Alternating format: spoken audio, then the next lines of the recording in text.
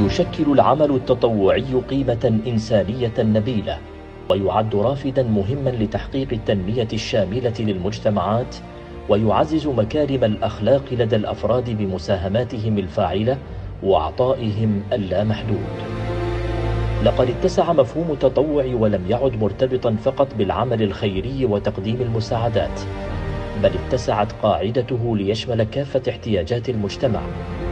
وقد وعت دولة الإمارات العربية المتحدة باكرا لأهمية هذا المجال الإنساني فأعدت له التشريعات اللازمة لتنظيمه والكيانات المتكاملة لإدارته وعززت ثقافته.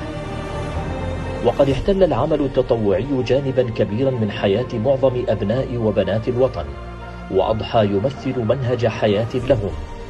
وتمثل ذلك جليا من خلال عطاءاتهم وإسهاماتهم المجتمعية في مختلف الظروف والمناسبات.